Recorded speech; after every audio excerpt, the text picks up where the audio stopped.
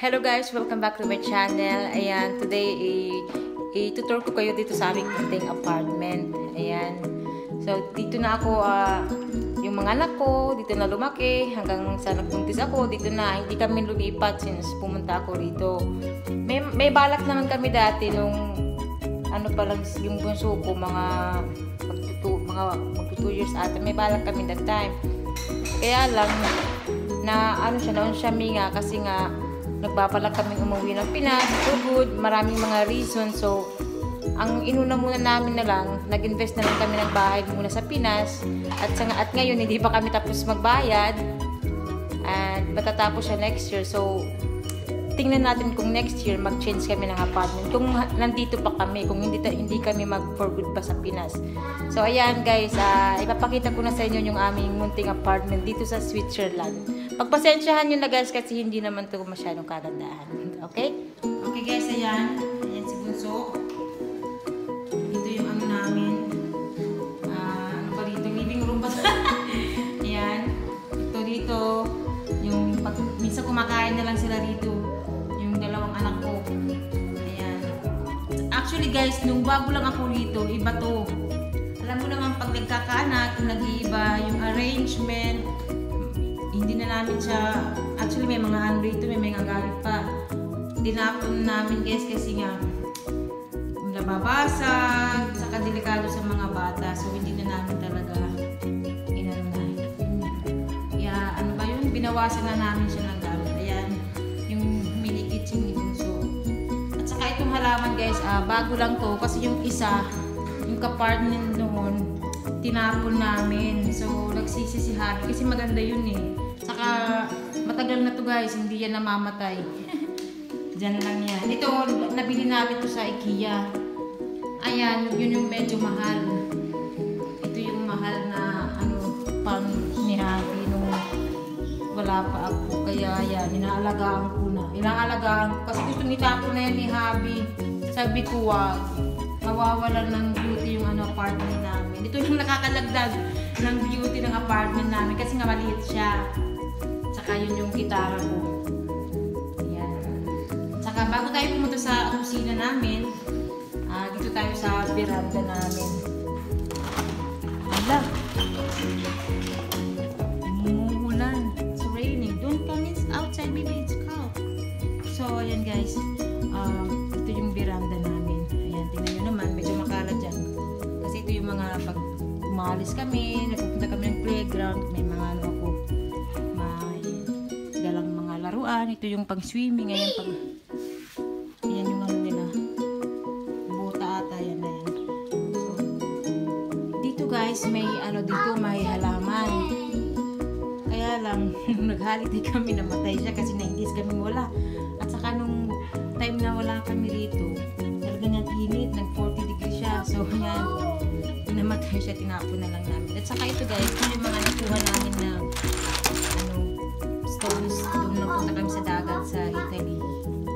So, ayan guys, alam niyo. Ayan guys, yung mga halaman ko yan. Nag-survive siya. Kasi nung movie kami, galing holiday talaga mo siya. Kala namin hindi na siya mabubuhay. Pina pero pinabayaan lang namin kasi nga ulan ng ulan. Ayan, ulan. Ito yung view namin dito sa guys. Ayan.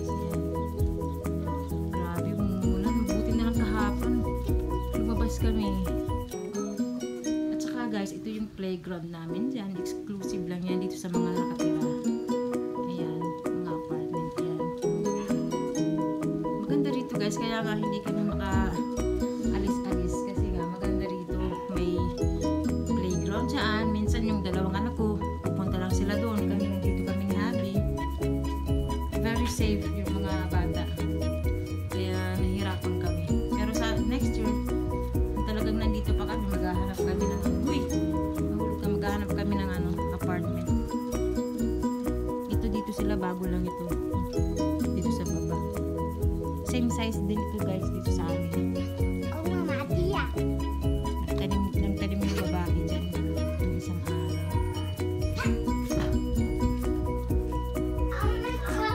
get the cover in that cement. So, ayan guys, medyo malamig. Papasok na ako. Ayan. At saka, yan guys, dyan, yan yung ano, high school dyan. Yung school. Ayan. Kaya nga maganda na talaga rito kasi malapit kami sa school, sa kindergarten, ayan. Sa elementary, hindi naman masyado, pero okay na rin. Basta malapit kami, hindi hindi ma-stress yung mother. So, ayan, pasok na tayo guys malamig. Kailan lang naman guys, yung ano na, ayan, veranda. Nakapunta na tayo sa ano natin. sa kitchen. Dito lang yung anong mesa namin yan. Naamoy ko yung ano, nagluto kasi ako guys. Ilaano ko lang siya. Lalabas ko na siya baka mangitim. Ayan guys, nandito tayo sa ano namin, mini kitchen namin. Ayan. Kinuha ko na yung niluto ko. Pag ano mo doon, dire-diretso na yan. Yung may ano namin dyan, table namin. Ayan, yan lang. Hindi malaki talaga. Tsaka mahal talaga rito guys sa Switzerland yung apartment. Tsaka isa lang si Habi na nag-work talagang ano yung budget minsan, limit lang. Ayan, may sibuyas ako. Ayan, sibuyas. Hindi mawawala yan. So, ayan lang. ito, ito naman guys na ano rito. Ako lang ang pagdating ko rito, ayan, nag- nag-decide ako kay Habi na kulayan ko siya kasi nga itong apartment na to, kulay ano lang to, ah, white, white, la, white, white lahat ito. Kasi usually naman yung mga apartment dito, talagang white lang yan, plain white. Sabi ko kay Habi kung pwedeng pinturahan, ayan, pininturahan namin yan. Ayan, dali lang. Tsaka itong, ano rito, kulay blue. Diba? Para nagkakulay na siya. Yan, marami ng ano guys. Kasi nga, alam mo na, pag may bata, naku, mahirap. Kaya nga, marami kaming lilinisin dito if ever mag, mag ano kami guys, mag move or kahit mag for good kami sa Pinas, yun pa rin. Marami kang lilinisin dito. So, gastos din yun. So, ayan. Ito lang yung ano namin yan, si Kuya. Ayan yung mga pic yung picture na, yung mga picture ko yan guys nung natrabaho pa ako.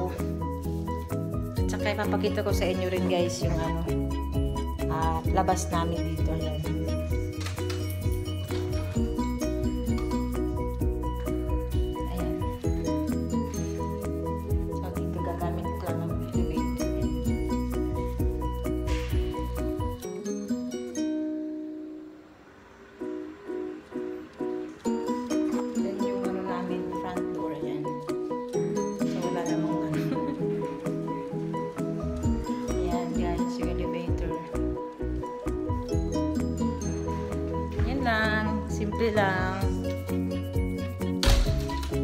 Maganda yung mga apartment dito.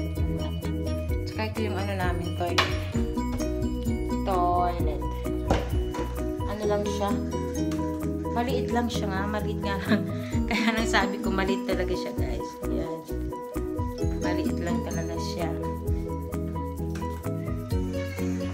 Tsaka ito yung ano namin, guys. Yung bathroom.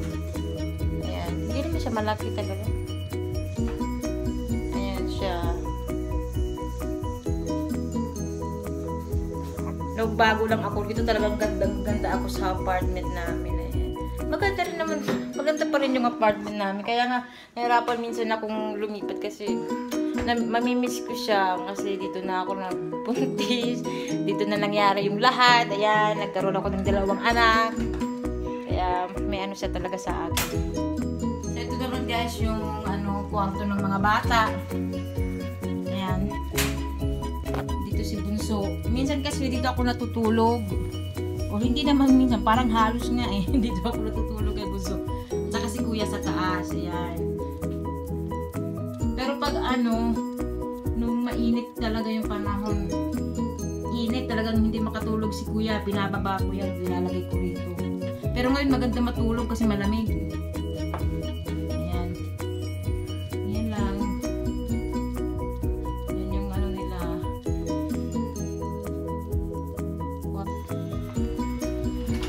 Tsaka ito, Nilagay ko to kasi magpa-plancha ako mamaya. Ayan.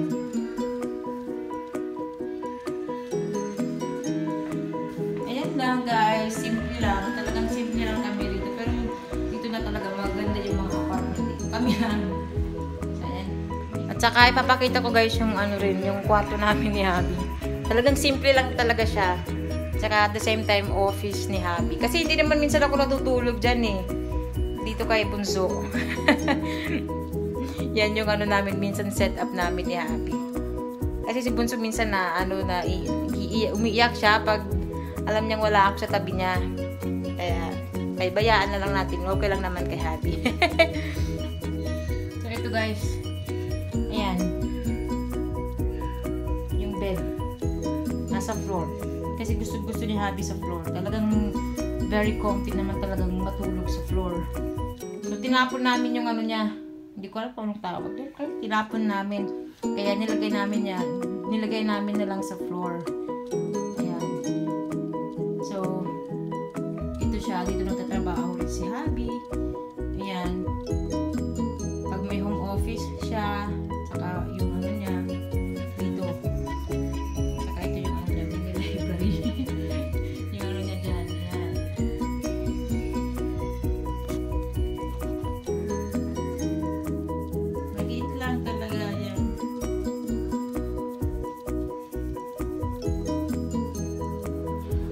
Ayan guys, nakita rin nyo yung ano namin apartment. Hindi siya malaki talaga.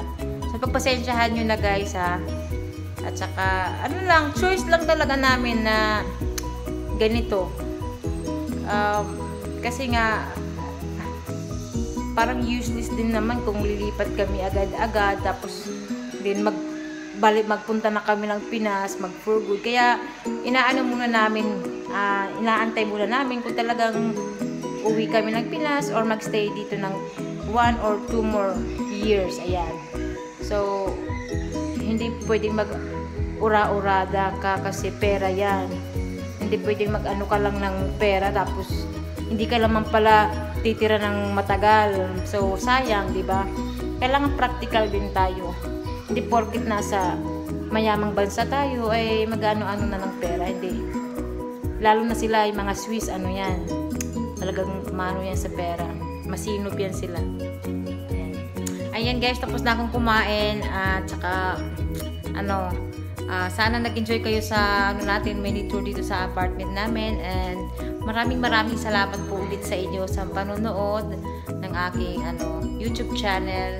At sa mga hindi pa po nag-subscribe, mag-subscribe na po kayo guys dahil marami pa kayong malalaman ng mga pasabog. Hindi, pero ano, totoo, pero ayun nga, may mga malalaman pa kayo about me, about sa life ko, ayan. Ano lang, hindi ko, dinadahan-dahan ko muna. Kasi worth it to guys.